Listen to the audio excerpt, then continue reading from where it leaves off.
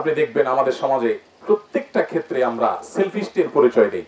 আপনি যখন রিক্সায় যাবেন, পাশ দিয়ে একটা প্রাইভেট কার যখন গতির সাথে যাবে, আর পানের ছিটা এসে আপনার রিক্সায় উঠবে, আপনার গায়ে লাগবে, তখন আপনার মেজাজ, মর্জি সব গরম হয়ে যাবে। আপনি বলবেন যে, কত অমানুষ যে আশেপাশে রিক্সা দিয়ে মানুষ যাচ্ছে একটু খেয়াল করে নেই। আবার সেই আপনি যখন কোনো প্রাইভেট কারে চড়বেন, তখন আপনি রিক্সা গাড়ি গাড়িওয়ালাকে বলবেন, তাড়াতাড়ি টানো ভাই, জলদি চলো। তখন আপনি দেখবেন না কার গায়ে পানি পড়ল কি পড়ল না।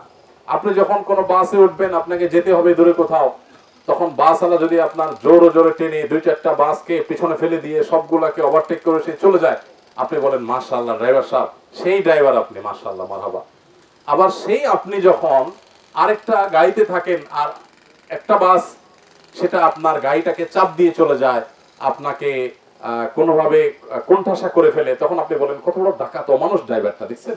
অর্থাৎ নিজের বেলায় আপনি ষোলো আনা বোঝেন, অন্যের বেলায় একানাও আমি, আপনি আপনি বলছি, এটা আমার, আপনার, আমাদের কমন একটা সমস্যা। এই জায়গাগুলোতে আমাদেরকে মানুষ হতে হবে মনে রাখবেন, ভালো মানুষ হওয়া ছাড়া, ভালো মুসলমান হওয়া যায় না।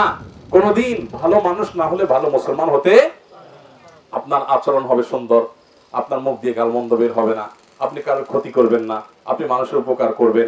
মানুষ তো মানুষ, আপনি প্রাণীর উপকার করবেন। আপনি কারোর কোনো কষ্টের কারণ হবেন না, কোনো জায়গায় আপনার কারণে কোনো অসুবিধা তৈরি হবে না। আপনি চিপসটাকে ঠোঙাটা রাস্তা ফেলে দিবেন না, কারণ এটা গিয়ে জলাবদ্ধতা তৈরি করতে পারে কোনো জায়গায়। আপনি ডাব খেয়ে মালাটা যেখানে সেখানে ছুড়ে ফেলে দিবেন না, আপনি টিস্যুটা মোছার পর যেখানে সেখানে ছুড়ে ফেলে দিবেন না, আপনি এগুলো যথাস্থানে ফেলে দিবেন। আপনি দূর ধরলে বহু দূর ধরতে পারবেন। কোথায় ফেলবে এগুলো ভাই? আমাদের সিটি কর্পোরেশনে কি এরকম ফেলার মতো কোনো জায়গা আছে? আপনি থাইল্যান্ডে যান, ব্যাংককে যান, সৌদি আরব যান, দশ হাত দূরে দূরে বক্স আছে, আমাদের দেশে কিচ্ছু নাই, সেগুলো হিরো ছিঁড়ে নিয়ে যায় দু চারটা থাকলে। আমরা কোথায় ফেলব? অভিযোগ এরকম বহুত দেওয়া যায়। আপনি চাইলে এগুলো পকেটে রেখে দিতে পারেন, হাতে রেখে দিতে পারেন, পাঁচ মিনিট পরে কোনো জায়গায় কোনো বিল পাবেন, সেখানে ফেলে দিতে পারেন। দেখুন ভাইরা, এই জায়গাগুলোতে আমরা যদি ফোকাস না করতে পারি, আমরা সবাই নতুন বাংলাদেশ চাই। নতুন বাংলাদেশ তো হঠাৎ করে কোন দোয়া পড়ে, মন্ত্র পড়ে, ভু দিবে না, বাংলাদেশ চেঞ্জ হয়ে যাবে, এটা হবে না। আমাদের সবাইকে পরিবর্তন হতে হবে। আমরা সবাই পরিবর্তন হব তো ইনশাআল্লাহ। আসুন্না ফাউন্ডেশন উম্মার স্বার্থে সুন্নার সাথে।